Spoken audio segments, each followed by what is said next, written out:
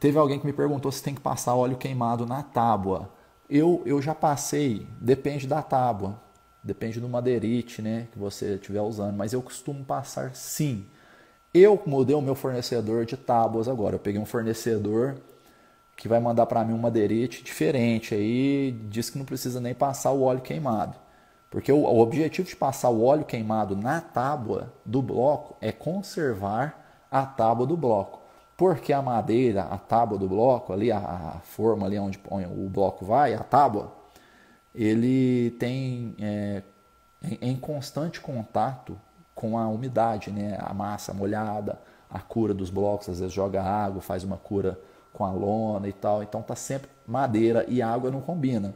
Então você passar o óleo queimado é uma, é uma forma de você preservar a tábua. A tua tábua ela dura mais tempo quando você é, passa óleo queimado.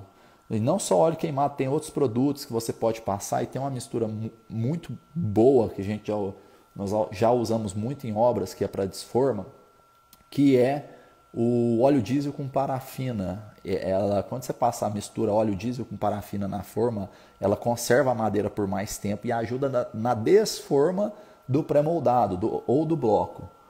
E pode ser sim um madeirite naval, né? Madeirite naval é o mais indicado para poder fabricar o bloco.